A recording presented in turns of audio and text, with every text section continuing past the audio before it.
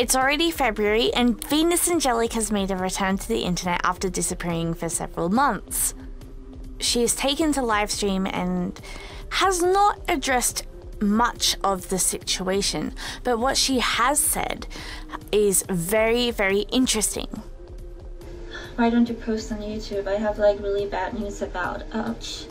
YouTube, I hope I can well little accident happened on my channel and I will tell you about that later.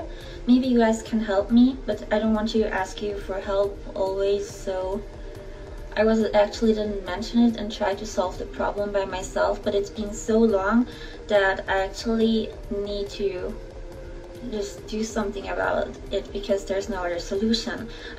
Basically, someone else has the password and I need to get my YouTube channel back, but YouTube won't really respond to me.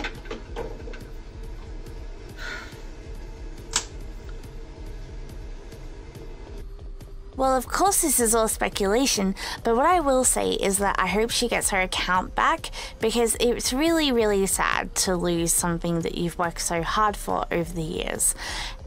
I also hope that you guys realize that you should not be sharing your passwords with anybody, whether or not it's friends online or people that you know.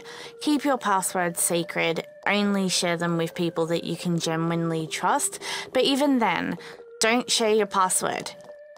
With all that being said, that's the end of the video. I just wanted to do a quick update. We know that she's alive. I'm not sure if she's well, but at least she's safe.